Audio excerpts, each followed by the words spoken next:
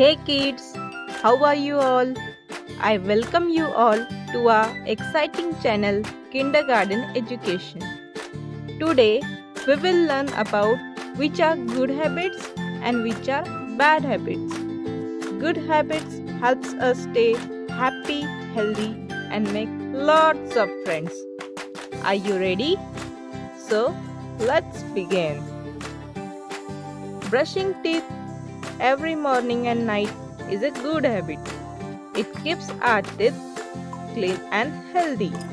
While not brushing daily teeth can cause tooth cavities, it is a bad habit.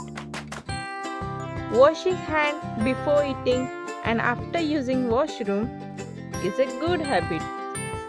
It keeps our hands away from germs. Not washing hands properly will make us sick and hence it is a bad habit. Helping friends and family is a good habit. This shows that we care for them. Behaving rude is a bad habit.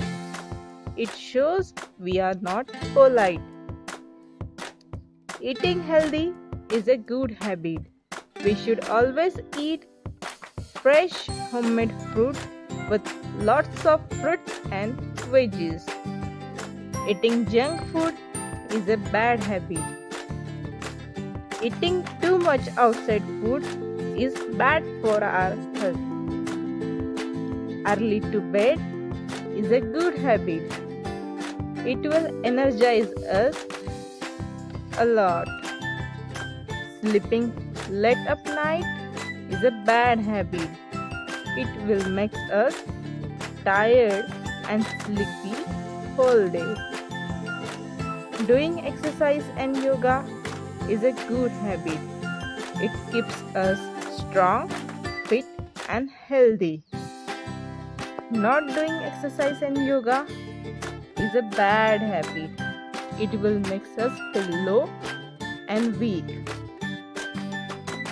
We should always practice good habits to keep ourselves happy and healthy. So, from today, we all will practice good habits only. Thanks for watching us. Stay tuned. Bye bye.